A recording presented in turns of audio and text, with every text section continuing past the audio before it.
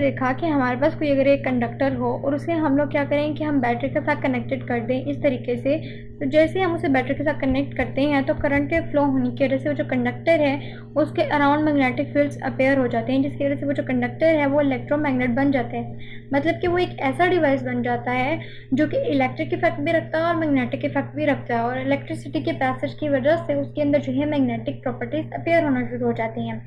आज भी हम अपने काम को कुछ इसी तरीके से करेंगे कि हम क्या करेंगे? हम बेसिकली ये देखना चाहेंगे कि किसी कंडक्टर के ऊपर मैग्नेटिक फ़ील्ड का क्या इफ़ेक्ट होता है। उसे ये देखने के लिए हम लोग क्या करते हैं कि हम लोग ये करेंगे कि यहाँ पर हम कॉपर की दो स्ट्रिप्स इस्तेमाल कर लेते हैं और इन दो स्ट्रिप को इस तरीके से इस्तेमाल करते हैं कि ये हमारे पास एक कॉपर की स्ट्रिप है और यहाँ पर हमारे पास जो है दूसरी कॉपर की स्ट्रिप है।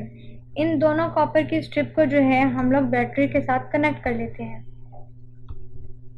ये इस तरीके से एक वायर हम लोगों ने यहाँ से लगाई और एक वायर यहाँ से लगाई। यहाँ से बैटरी के पॉजिटिव टर्मिनल को कनेक्ट किया और यहाँ से जो है बैटरी के नेगेटिव टर्मिनल को इस तरीके से कनेक्टेड कर दिया। अब ये वाला हमारे पास पॉजिटिव टर्मिनल है, ये हमारे पास नेगेटिव टर्मिनल है। अब यहाँ पे हम लोग एक स्विच को भी लगा देते हैं। ज़्यादातर हम लोग स्विचेस लगा देते हैं ताकि जिसे हम लोग जैसे ही क्लोज करें तो सर्किट में जो है करंट फ्लो करना शुरू हो जाए। ये हमारे पास स्विच ऐसे है, ये हमारे पास बैटरी बी है और ये हमारे पास कॉपर की स्ट्रिप है। अब हम लोग क्या करते हैं कि हम लोग एक कंडक्टर लेते हैं उस कंडक्टर को जो है कंडक्टर इस शेप का है कि उसे जो है, इसके ऊपर हम लोगों ने दोनों स्ट्रिप के ऊपर रख दिया है। इस तरीके से ये हमारे पास एक कंडक्टर है, जिसे हम लोगों ने इन कॉपर की जो है स्ट्रिप के ऊपर डाल दिया इस तरीके से।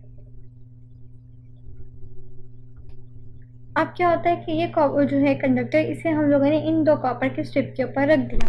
और यहाँ से हम लोगों ने अपने आप जो स्विच है इसे भी क्लोज कर दिया।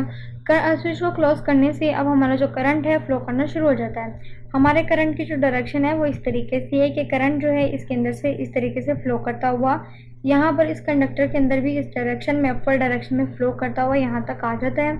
और सर्किट को कंप्लीट कर देता है। अब क्या होता है कि हमें ये मालूम है कि इन दोनों जो कॉपर के स्ट्रिप हैं, इसके अंदर से करंट फ्लो कर रहा है। तो करंट के फ्लो करने की वजह से इसके अंदर भी मैग्नेटिक इफ़ेक्ट आ जाता है। अब हमारा ये जो सर्किट है, इसके ऊपर मैग्नेटिक इफ़ेक्ट आ गया है।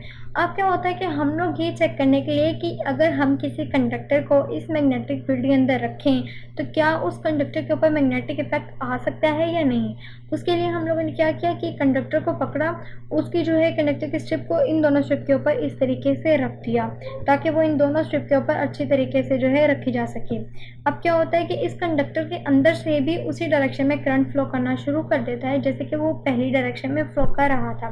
तो अभी जो हमारे पास करंट है वो एक इलेक्ट्रोमैग्नेट बन गया है। अगर ये कर, जो कंडक्टर है हमारे पास अगर ये इलेक्ट्रोमैग्नेट बन गया है तो बेसिकली इसके अराउंड जो है हमारे पास मैग्नेटिक फ़ील्ड अपेयर हो जानी चाहिए। क्या होता है कि यहाँ पर इसके अराउंड जो है हमारे पास मैग्नेटिक फ़ील्ड अपेयर हो जाती है और मैग्नेटिक फोर्स आ जाती है जो कि एफ़ एम से हम लोग रिप्रेजेंट कर सकते हैं। ये मैग्नेटिक फोर्स जो है, ये मैग्नेटिक फ़ील्ड की वजह से आई है, जो कि हमें मालूम है कि अगर किसी कंडक्टर के अंदर से जो करंट फ्लो कर रहा हो तो उसके साइड पे क्या होता है कि मैग्नेटिक फ़ील्ड अपेयर हो जाती है, जो कि सर्कुलर डायरेक्शन में होती है। जब ये सर्कुलर डायरेक्शन में है तो इसकी जो फोर्स है एफ़ एम जो कि मैग्नेटिक फोर्स है, वो भी तो सर्कुलर डायरेक्शन में आएगी। तो बेसिकली अब यहाँ पे क्या है कि हमारे पास मैग्नेटिक फ़ील्ड है, और यहाँ पर हमारे पास मैग्नेटिक फ़ील्ड की वजह से मैग्नेटिक फोर्स भी आ जाती है। अब होता क्या है कि ये मैग्नेटिक फोर्स जो है तो होता यह है कि सबसे पहले हम लोग ये चेक करेंगे कि हमारी मैग्नेटिक फोर्स तो आ गई, यहाँ पे मैग्नेटिक फ़ील्ड भी आ गई, लेकिन ये मैग्नेटिक फोर्स किस डायरेक्शन में लग रही है? आया कि ये इस डायरेक्शन में लग रही है या इस डायरेक्शन में लग रही है? होता क्या है कि एक हमारे पास जो है एक रूल है, जिसे हम लोग राइट हैंड रूल कहते हैं। ये हमारे पास जो है राइट हैंड रूल होता है, जिसे हम लोग यूज़ करते हैं। ये चेक करने के लिए कि हमारे मैग्नेटिक फ़ील्ड की डायरेक्शन किस तरफ़ है। होता क्या है कि हम लोग, हमारे पास इस तरीके का, हम लोग बेसिकली हमारा ये जो हैंड है, वो इस तरीके का होता है कि ये हमारे पास जो है, ये हमारे पास हमारा हैंड है और इसे थोड़ा सा सही करके बना लेते हैं ताकि आपको भी आसानी हो समझाने में और मुझे भी। ये हमारा हैंड है। अब ये जो हमारी फिंगर्स है ना, ये हमारी फिंगर्स रिप्रेजेंट करती है बेसिकली हमारी मैग्नेटिक फ़ील्ड को। और ये जो हमारा थम है, ये थम हमारा इंडिकेट करता है हमारा करंट को कि किस डायरेक्शन में हमारा करंट फ्लो कर रहा है। और ये जो हमारी पाम है, ये इंडिकेट करती है बेसिकली हमारी मैग्नेटिक फोर्स को। अब होता क्या है कि हमारा, हम बेसिकली अपने थम को हमेशा, जो अपना हैंड है, उसे कर्व कर लेते हैं, मत फिंगर्स को बंद कर लेते हैं इस तरीके से कि ये हमारे पास जो है, हमारा हैंड है।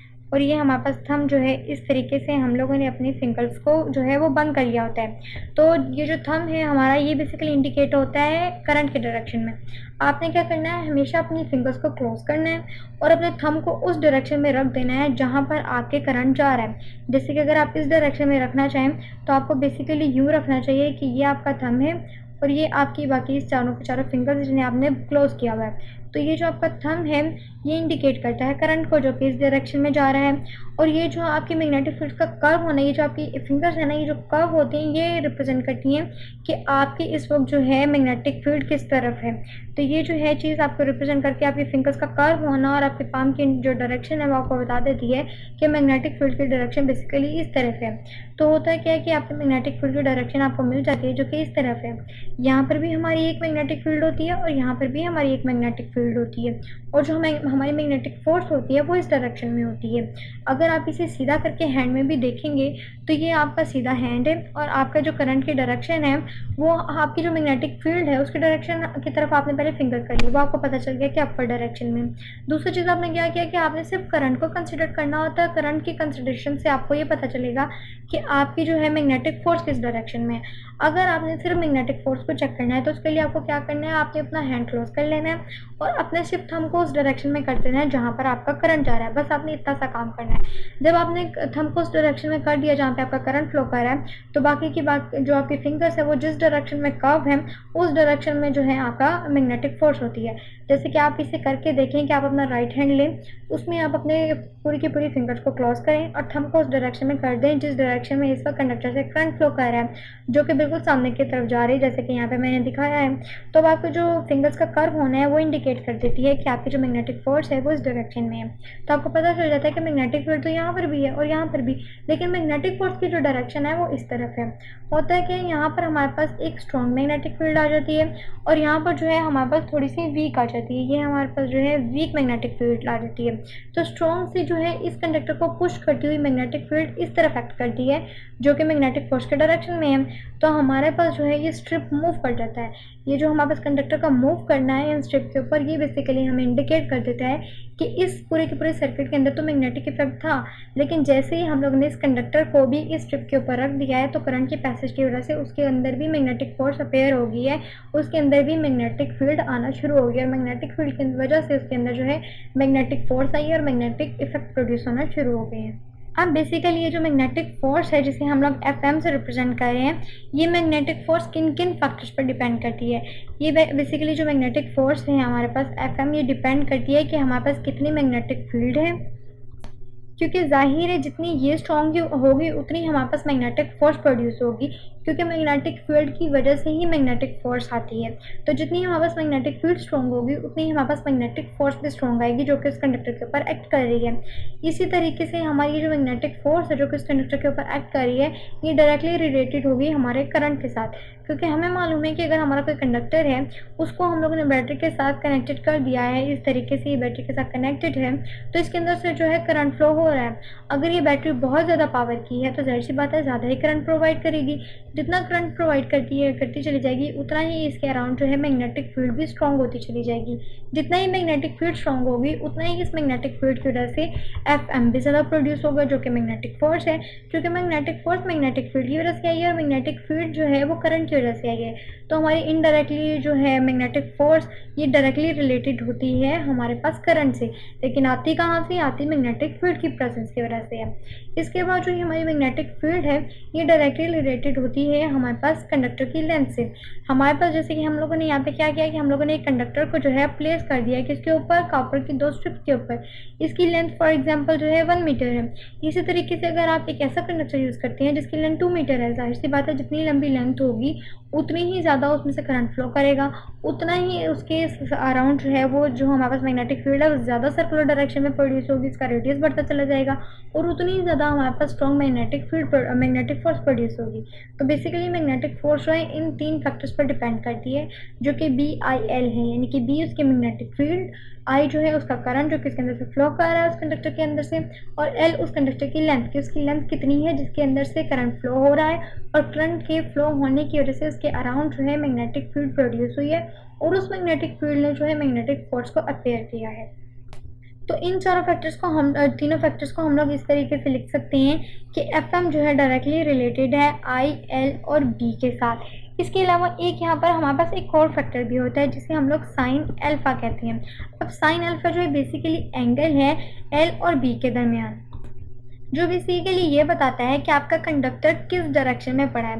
फॉर एग्जांपल आपके मैग्नेटिक फ़ील्ड की डायरेक्शन ये है और आपका कंडक्टर जो है इस डायरेक्शन में पड़ा हुआ है। जैसे कि हमारा, इस केस में क्या था कि हमारा कंडक्टर भी उसी डायरेक्शन में पड़ा है, ये कंडक्टर की लेंथ है इस डायरेक्शन में और हमारी जो बी है वो भी इस तरह अपर डायरेक्शन में है। तो यहाँ पे जो अल्फ़ा है, चूँकि ये पैरेलल है तो यहाँ पे अल्फ़ा ज़ीरो है।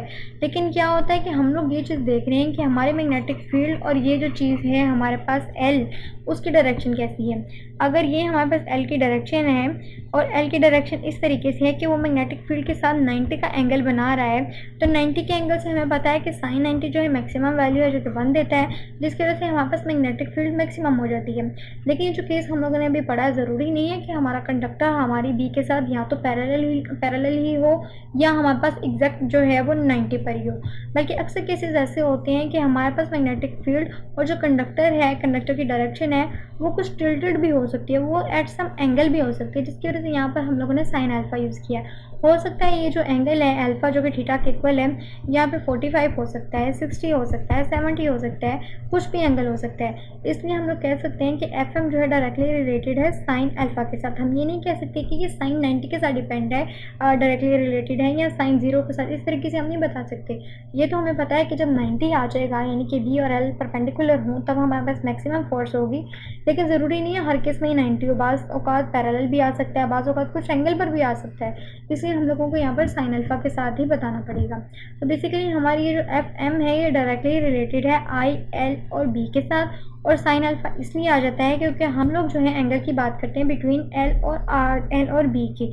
ये बेसिकली हमारे पास क्रॉस प्रोडक्ट आ जाता है। क्रॉस प्रोडक्ट हमें मालूम था कि हमारे पास जो क्रॉस प्रोडक्ट है वो आई एल बी के वो होता है इक्वल यहाँ पे हम लोग क्रॉस प्रोडक्ट की डेफिनेशन के बारे में बता दें कि वो F M is equal to I L into L cross B के इक्वल आ जाता है। और क्रॉस की जगह हम लोग क्या कर देते हैं कि आई एल बी क्रॉस को हटा के हम लोग यहाँ पे साइन अल्फ़ा लगा देते हैं। तो बेसिकली ये चीज़ हमें बताती है कि हमारे पास जो मैग्नेटिक फोर्स है, वो भी एक जो है हमारे पास क्रॉस प्रोडक्ट आ जाता है, जो कि आई एल बी के इक्वल आ जाता है। अब क्या होता है कि हम डिफरेंट फैक्टर्स को देख लेते हैं कि कब हमारे पास जो है मैग्नेटिक फोर्स किसी भी कंडक्टर के ऊपर मैक्सिमम होती है मिनिमम होती है या कुछ वैल्यू देती है। अब सबसे पहला केस हम ये देख लेते हैं कि जो हमारे पास कंडक्टर है, उस कंडक्टर के अंदर से अगर करंट फ्लो करना बंद कर दे तो अगर करंट फ्लो करना बंद कर दे तो मतलब ज़ीरो हो गया। अब करंट ज़ीरो हो गया तो हमारे पास मैग्नेटिक फ़ील्ड जो है, वो भी ज़ीरो होना शुरू हो जाएगी। मैग्नेटिक फ़ील्ड ज़ीरो होगी तो इसका मतलब है मैग्नेटिक फोर्स को भी ज़ीरो होना शुरू हो जाएगा। देखा जाए, अगर इस चीज़ को हम लोग फॉर्मूले से देखें तो फॉर्मूला क्या कहता है कि I L B into sine alpha है।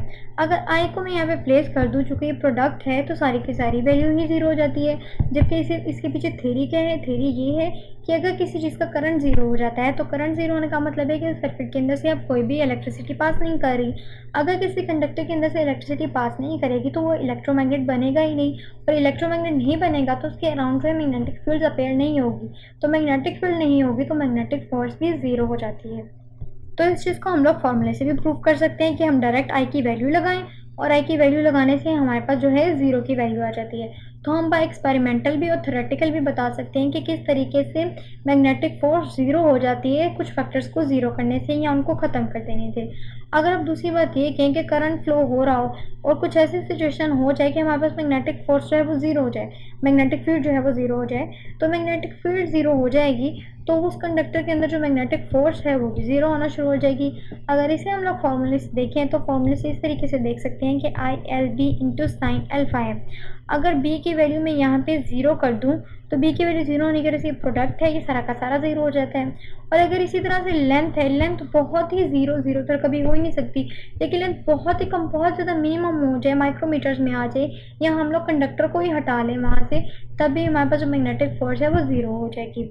और दूसरे केसेस ये आ सकते हैं कि हमारे पास जो मैग्नेटिक फोर्स है मैग्नेटिक फ़ील्ड उसकी डायरेक्शन और कंडक्टर की जो लेंथ है, अगर तो आपस में परपेंडिकुलर है तो हमारे पास मैक्सिमम जो है फोर्स आ जाएगी मैग्नेटिक फोर्स जो कि उस कंडक्टर के ऊपर एक्ट कर रही है।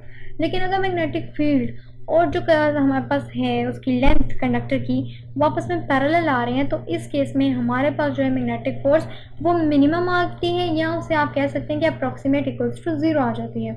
सिमिलरली किस ये ज़ीरो आ गई तो इसको ज़ाहिर सी बात है एंगल से हम लोग रिलेटेड करते हैं, और एंगल से किस तरह से? कि यहाँ पे साइन अल्फ़ा की वैल्यू डाल देते हैं। तो साइन अल्फ़ा की वैल्यू डाल दें, चाहे तो कंडक्टर पैरेलल हो या एंटी पैरेलल तब हमारे पास जो है मैग्नेटिक फोर्स ज़ीरो ही रहती है। और अगर कंडक्टर मैग्नेटिक फ़ील्ड के साथ बिल्कुल परपेंडिकुलर है, तब हमारे पास जो है फोर्स मैक्सिमम आ जाती है।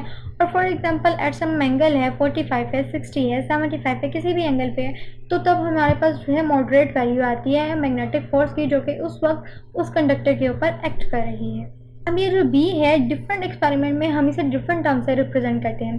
फॉर एग्जांपल कि अगर हम किसी कंडक्टर के ऊपर मैग्नेटिक फ़ील्ड का इफ़ेक्ट देख रहे हैं, चूँकि हम लोगों ने यहाँ पे कंडक्टर के ऊपर मैग्नेटिक फ़ील्ड का इफ़ेक्ट देखते हुए उसकी मैग्नेटिक फोर्स को निकाला है। अब अगर मैं ये चीज़ बताऊँ आपको कि फॉर एग्ज़ाम्पल आप सपोज़ कर लीजिए कि आपका जो कंडक्टर है वो मैग्नेटिक फ़ील्ड के साथ नाइन्टी के एंगल पर है। तो नाइन्टी के एंगल पर होने की वजह से जो साइन अल्फ़ा की वैल्यू है वो तो मैक्सिमम होगी, वो वन होगी। अगर मैं इस वन को यहाँ पे पुट कर दूँ तो बेसिकली मेरे पास जो एफ़ मैक्सिमम एफ़ है, हमारे पास जो कि हमारे पास मैग्नेटिक फोर्स है, उसकी value simply I L B लिखी जा सकती है।